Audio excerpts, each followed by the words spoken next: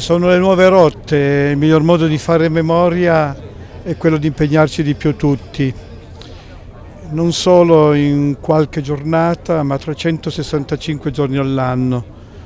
Queste navi vogliono portare questi ragazzi a toccare con mano una realtà, a riflettere, a porsi delle domande, degli interrogativi, ma questi ragazzi nelle scuole durante tutto l'anno fanno dei percorsi di conoscenza, un conoscere per essere persone più responsabili e quindi noi dobbiamo fare in modo che la E di congiunzione diventi verbo. Conoscere è responsabilità, responsabilità è conoscere. Abbiamo bisogno di verità nel nostro Paese e vi prego di non dimenticare che non c'è strage che si conosca verità in Italia.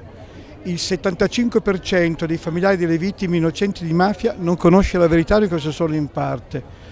Queste due stragi chiedono ancora una volta, e lo chiedono i familiari, lo chiediamo anche noi, verità e giustizia.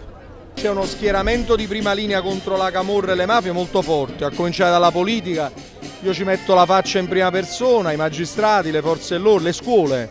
Le scuole a Napoli stanno in prima linea come presidio e punto di riferimento contro la Camorra. Io dico sempre che quel messaggio di Edoardo De Filippo, no? quando diceva ai napoletani che non c'era speranza, fuito venne. Se i camorristi non si vogliono redimere, fuito venne lo diciamo a loro.